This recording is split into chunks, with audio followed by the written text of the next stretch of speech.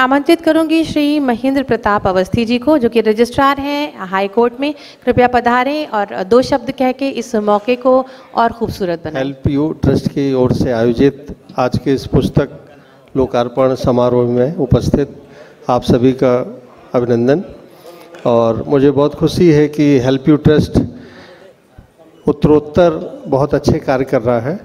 और ये मुझे लगता है शायद इनकी ग्यारहवीं या बारहवीं किताब है जिसका पब्लिकेशन हेल्प यू ट्रस्ट ने किया है।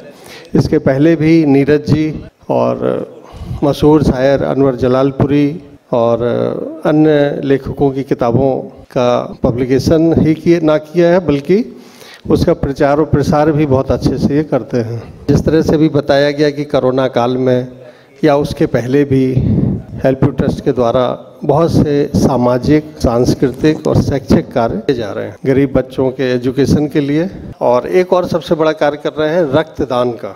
ये शिविर लगाते हैं और एक ऐसा कार्य जो मानवीय सेवाओं से जुड़ा है, उसके लिए हेल्प यू ट्रस्ट जाना जा रहा है, न केवल लखनऊ में, बल्कि पूरे भारतवर्ष में और बल्कि कोरोना काल में विदेशों में भी हेल्प यू ट्रस्ट का नाम गया। आज इतनी अच्छी अच्छी विभूतियाँ यहाँ पे आई, चाहे वो एल के हेड हों, हमारे उप मुख्यमंत्री उत्तर प्रदेश शासन हो, या बिजलाल जी और कई चिकित्सक, सूर्यकांत जी यहाँ पे उपस्थित हैं। एक और बात मैं कहूँगा, राजेश अग्रवाल जी भी बैठे हैं सेंट जोसेफ से। मैं कहूँगा कि डॉक्टर राजेंद्र प्रसाद जी से कार्यक्रम में हम और आप साथ में थे और जितना अच्छा आप एक अच्छे चिकित्सक हैं, उतने अच्छे ही मानवीय गुणों से भी संपन्न हैं। इतने बड़े चिकित्सक होने के बावजूद भी आप बहुत ही विनम्र हैं और जो एक सेवा भाव है कि हम किसी मरीज़ को कैसे स्वस्थ करें, ये भाव प्रत्येक चिकित्सक में अगर है तो बहुत अच्छी बात है। मेरे पितामह के पितामह सिविल सर्जन थे अंग्रेज़ों के समय पे और वर्तमान में करीब सात लोग मेरे परिवार के हैं, जो डॉक्टर हैं, मेरी दो भांजियाँ, एक के जीएमसी में एमएस कर रही है और एक ईएनटी अभी उसने ज्वाइन किया है आईआईएम रायबरेली में।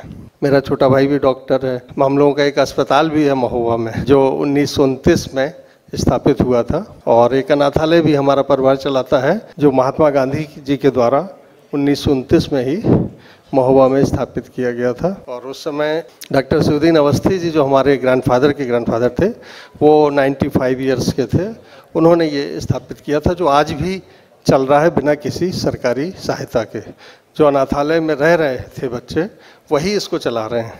और हमारे ही परिवार का कोई उसका पदेन अध्यक्ष होता है। मैं इसलिए बता रहा हूँ कि जैसे अभी एलन के हेड बोल रहे थे कि हमें कहीं ना कहीं से जीवन बेहतर बनाना है और हमारे जो मुख्य अतिथि थे, वो भी बोल रहे थे कि आप एक इकाई होकर, व्यक्ति होकर आप यदि परमार्थ का काम करते हैं, अगर अपने इस जीवन में रह के किसी का भी अच्छा कार्य करते हैं, हमारी डॉक्टर सत्या सिंह जी हैं, ये जब सर्विस में थी, तब भी और सर्विस के बाद भी, अभी कोटा में जो घटनाएँ घट रही हैं, उसके ऊपर बहुत अच्छी किताब सत्या जी ने लिखी है।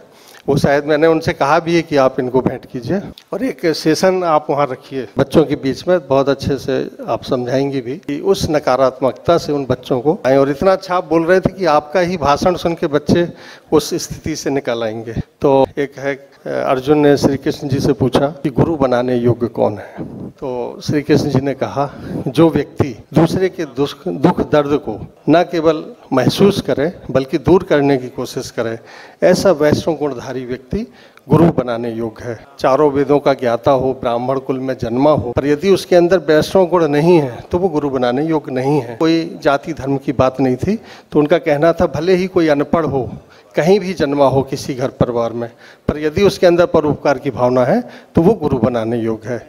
उसी को नरसिंह मेहता जी ने भी कहा है, वैष्णव जन तो तेने कहिए, जे पीर पराई जाने रहे तो आज के इस कार्यक्रम में, इस पुस्तक लोकार्पण में, जैसे जितेंद्र प्रसाद जी, जब आप एजुकेशन में थे प्रिंसिपल सेक्रेटरी तो आपने मेरी पिताजी और मेरी किताबें, मैं एक लेखक हूँ मैं हाईकोर्ट का परिचय दिया, ठीक है, पर मैं महेंद्र भी के नाम से लेखक भी हूँ और लेखक ही हूँ, क्योंकि जो नौकरी है वो एक समय तक रहेगी, पर जो लेखन है वो रहेगा और इस देह के बाद भी रहेगा, क्योंकि हम लोग सौ साल लेके आए हैं तो सौ साल के बाद भी अगर कोई रहेगा तो वो आपका किया हुआ अच्छा कार्य रहेगा, जो हेल्प यू ट्रस्ट कर रहा है, और एक लेखक जो राजेंद्र प्रसाद जी लिख के जा रहे हैं, आज वो सदैह यहाँ पे हैं, कल नहीं रहेंगे। हम सब कल नहीं रहेंगे जो आज यहाँ उपस्थित हैं, पर हमारे द्वारा किए गए अच्छे कार्य रहेंगे और जो किताबें लिख गए हैं, करके जा रहे हैं, वो स्थायी रूप से आपका नाम आगे चलाएँगे। बहुत बहुत धन्यवाद मुझे समय देने के लिए। हमारी बहुत अच्छी संचालिका हैं, बल्कि प्रिंसिपल भी हैं एक अच्छे कॉलेज की। अलका निवेदन जी का बहुत आभार कि उन्होंने मुझे याद किया।